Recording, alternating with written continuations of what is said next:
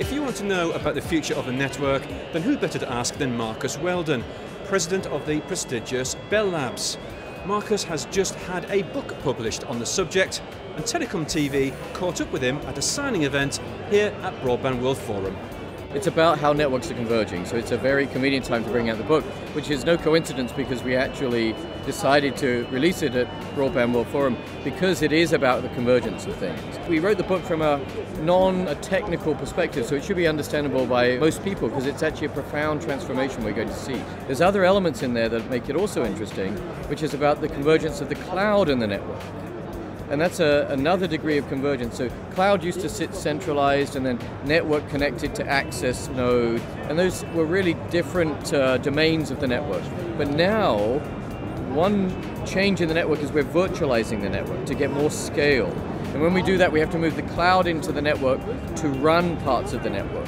So the cloud and the network are converging, access technologies are converging, and then even IP and optical, which is the, the, the network that connects access and the cloud, they're converging to actually our common management. So the book really is about everything coming and sort of localizing, becoming much more distributed and converged, and that's, uh, that's the Future X thesis we have.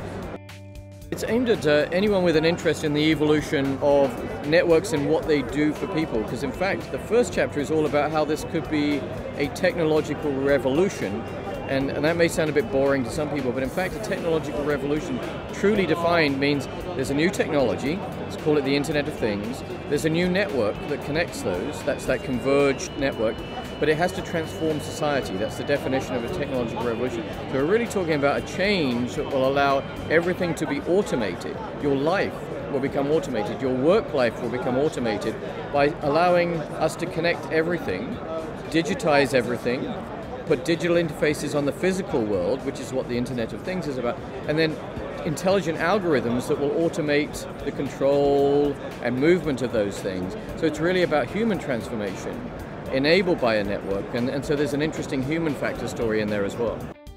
There's a chapter on each part of the network. The first one summarizes the whole thesis. So the real story is we're entering an age where society and human life and existence is going to be transformed.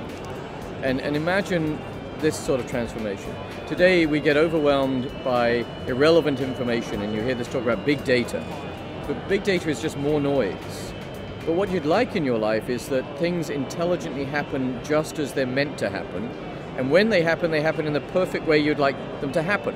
So it's actually about sensing your need, using network information, in other words, where you are, when you are, what environment you're in, etc., who you're with, and trying to automate your existence so things automatically happen.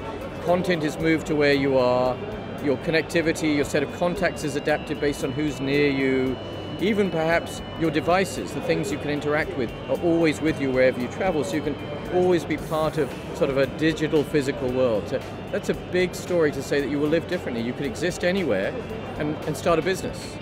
You could have 3D printers print goods for you wherever you are you could ship a digital good instead of a physical good. So we're building a network that will transform how people live and work and start businesses and run businesses. So that's why we think it's so exciting.